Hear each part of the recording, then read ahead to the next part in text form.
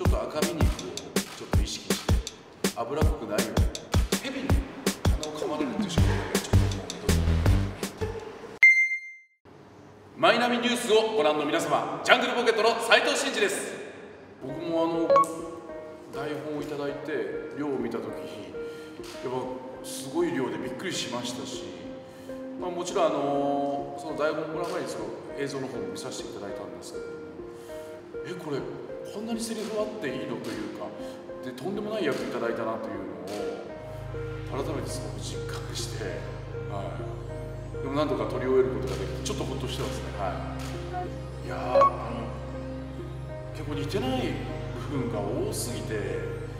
やっぱ僕に関してはその弱い部分を前面に出しちゃってるとかそういう部分はあるんですけどなんかちょっと臆病なところはあるんですけれどもなんか人としてはやっぱり優しい部分があって、えーだからそういうところは何か誰かのために頑張りたいっていう部分はなんかちょっとそこは似てるのかなというか勢いのみでちょっといっちゃってる部分があるんで15年間。なんかもう本当にテレビ見てたらねあのステーキの脂身をずっと食べてるみたいな感じ。それぐらい脂っこい感じなんですけども。だからそういった部分はそこはちょっと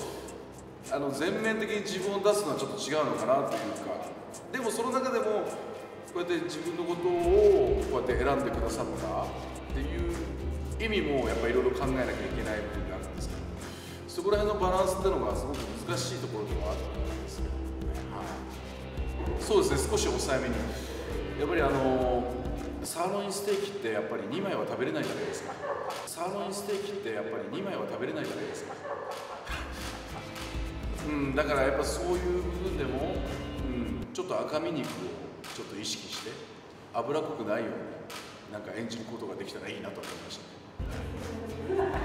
脂っこいもの2時間耐えれないですよね。30分で飽きちゃいますよね。いやいやいやでも俳優といってもなんかいろんな役ってもちょっと変わった役が多いんでね。僕最初あのドラマで出させていただいた時ストーカー役だったんですよね。そのままで演じてくださいって言われましたし、変わった役が多いのでね、まあ、ちょっと普通の役も演じてみたいなみたいなですけどありがたいですけど役やってる時楽しいですけどなんだこの役と見ればそうですねいやでも本当に、まあ、3人の仕事が一番優先なんでやっぱスケジュールとかって結構大変らしいですよね。俳優さんのねスケジュール。僕中心に動ける動けることないので。でもなんか自分がねそのそういう話いただいた時とかは、まあ、もちろんやってみたいなとどんな役でもどんなドラマでもどんな映画でもいいんですか？らまあ基本僕もう仕事 NG ないので、はい、何でもやりたいなと思いますただちょっとあの蛇に鼻を噛まれるっていう仕事だけはちょっともう二度とやりたくない。血が出ちゃってどんどん親できなかったです貫通しちゃって、